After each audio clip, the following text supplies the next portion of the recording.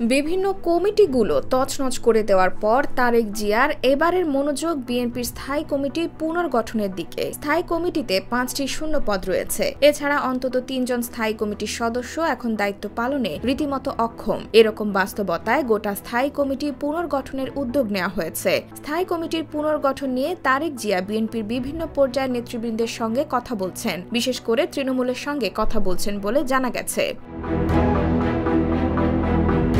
ঈদে যখন বেগম খালেদা জিয়া বিএনপির নেতৃবৃন্দের সঙ্গে আলাপ আলোচনা করছিলেন, ঈদের শুভেচ্ছা বিনিময় করছিলেন, ঠিক সেই সময় বিএনপির ভারপ্রাপ্ত চেয়ারম্যান বিভিন্ন জেলা এবং উপজেলার তৃণমূলের নেতৃবৃন্দের সঙ্গে ধারাবাহিকভাবে স্কাইপে বৈঠক করেছেন। তাদের সঙ্গে আন্দোলনের বিষয় এবং সাংগঠনিক বিষয় নিয়ে দীর্ঘ আলোচনা করেছেন।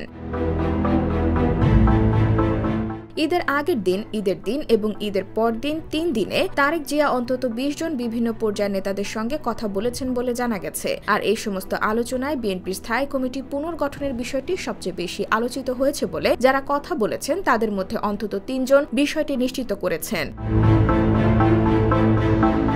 তারেক জিয়া কাদেরকে স্থায়ী কমিটিতে নেওয়া যেতে পারে এরকম একটি সম্ভাব্য তালিকা পাঠিয়েছেন এবং এ ব্যাপারে তাদের মতামত চেয়েছেন। পাশাপাশি যারা স্থায়ী কমিটিতে আছে, তাদের তালিকা পাঠিয়ে এদের মধ্যে কাকে কাকে রাখা উচিত এবং কাকে কাকে বাদ দেওয়া উচিত সে বিষয়ে তৃণমূল তাদের মতামত দিয়েছে। তৃণমূলের পক্ষ থেকে একজন জেলা বিএনপি নেতা, যিনি তারেক জিয়ার সঙ্গে অত্যন্ত ঘনিষ্ঠ হিসেবে পরিচিত, তিনি দাবি করেছেন, যে কোনো দিন স্থায়ী কমিটি পুনর্গঠন হতে পারে। তারেক জিয়া এই প্রস্তুতি গ্রহণ করেছেন। তবে তা হবে গোপনে। যেভাবে বিএনপির বিভিন্ন কমিটিগুলোতে পদোন্নতি এবং পদাবনতি করা হয়েছে। ঠিক একইভাবে স্থায়ী কমিটিও পুনর্গঠন করা হবে একই কায়দায়। বিএনপির একাধিক সূত্র দাবি করেছে, স্থায়ী কমিটি থেকে বাদ পড়তে যাচ্ছেন দলের দীর্ঘদিনের অসুস্থ নেতা ব্যারিস্টার রফিকুল ইসলাম মিয়া এবং ব্যারিস্টার জমির উদ্দিন সরকার। এ ব্যাপারে তৃণমূলের সবাই তারেক জিয়াকে একই অভিমত ব্যক্ত করেছেন। এদের দুইজনকে বিএনপির কোনো আলংকারিক পদ দেওয়া হবে, যেমন চেয়ারপারসনের বিশেষ উপদেষ্টা বা বিএনপির সম্মানিত উপদেষ্টা ইত্যাদি। ডক্টর খন্দকার মোশারফ হোসেনকেও স্থায়ী কমিটি থেকে বাদ দেওয়ার বিষয়টি নিয়ে আলোচনা হয়েছিল। তবে সেই আলোচনা তারেক জিয়াই মাঝখানে থামিয়ে দিয়েছেন বলে একাধিক দায়িত্বশীল সূত্র নিশ্চিত করেছে।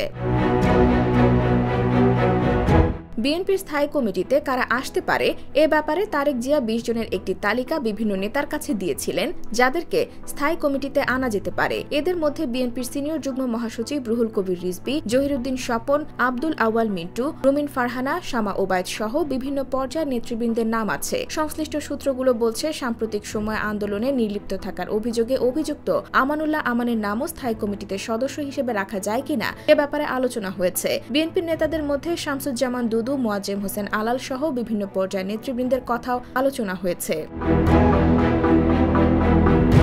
বিএনপির একজন নেতা বলেছেন, তারেক জিয়া অপেক্ষাকৃত তরুণদেরকে স্থায়ী কমিটিতে অন্তর্ভুক্ত করার পক্ষে দীর্ঘদিন যারা দলের জন্য সময় দিতে পারবেন এবং শ্রম দিতে পারবেন, বয়প্রবীণ লোকদেরকে স্থায়ী কমিটিতে অন্তর্ভুক্ত না করার পক্ষে তিনি ইঙ্গিত করেছেন বলে বিএনপির কয়েকজন নেতা জানিয়েছেন। এই আলাপকালে তারেক জিয়া আবদুল্লাহ আল নোমানের মতো সিনিয়র নেতাদের নাম শুরুতেই নাকচ করে দিয়েছেন বলে দায়িত্বশীল সূত্রগুলো জানিয়েছে।